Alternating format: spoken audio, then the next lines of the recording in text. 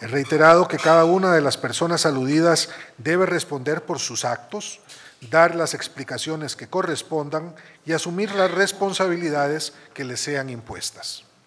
He reiterado que todo el peso de la ley debe caer sobre quienes hayan podido abusar de las instituciones para beneficiarse individualmente y también que la justicia deberá sancionar a aquellos que se hayan atrevido a sacar ventaja de sus posiciones políticas. Al diputado Víctor Morales Zapata le han atribuido actuaciones que, de ser ciertas, merecerían ser sancionadas. A lo largo del gobierno me han atribuido una estrecha amistad con Melvin Jiménez, Mariano Figueres y Víctor Morales Zapata. Sin embargo, debo dejar claro que el presidente de la República no tiene amigos.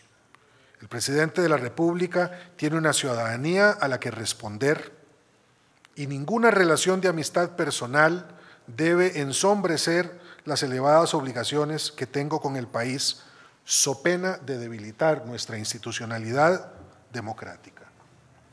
Ni Víctor Morales Zapata, ni ningún otro legislador o legisladora habla en nombre del presidente de la República y si alguien así lo hiciera, sería absolutamente reprochable.